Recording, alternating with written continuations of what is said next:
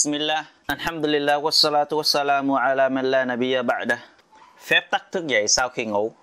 Thức dậy sau khi ngủ là một trong những dấu hiệu rõ ràng của Allah về quyền năng và thẩm quyền của Ngài. Nó tương tự như hình ảnh phục sinh sống lại sau khi chết.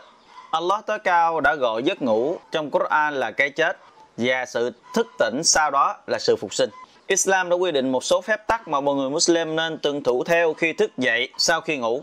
Như thứ nhất, cố gắng thức dậy trước giờ phát chợt để nắm bắt những lợi ích tinh thần và rèn luyện thói quen lành mạnh. Thứ hai, nắm bắt thời gian thanh thản và tinh khiết để hành đạo hoặc nghiên cứu.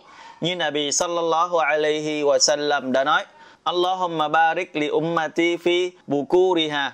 Là Allah, xin hãy ban hồng phúc cho cộng đồng của bề tôi trong thời khắc đầu của Ngài. Và Ahmad ghi, hãy để đầu tiên xuất hiện trong tâm trí của anh chị là tụng niệm Allah bằng chiếc lưỡi của mình.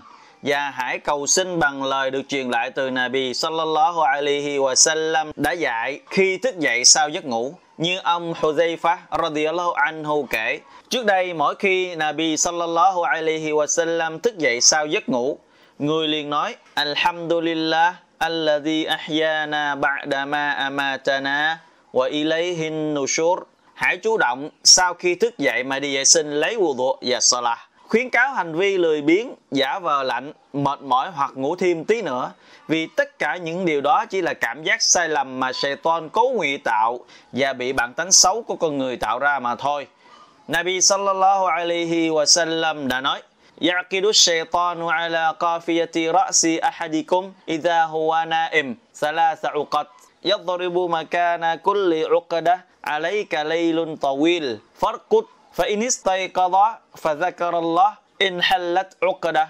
فإن توضأ انحلت عقدة.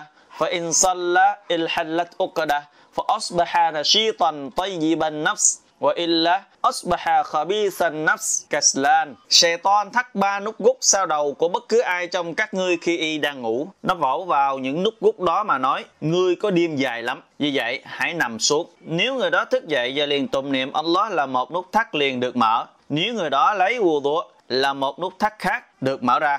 Nếu người đó hành lễ salah là toàn bộ nút thắt bị cởi bỏ, người đó trở nên năng động, tốt bụng, bằng không người đó trở nên lười biếng và xấu xa.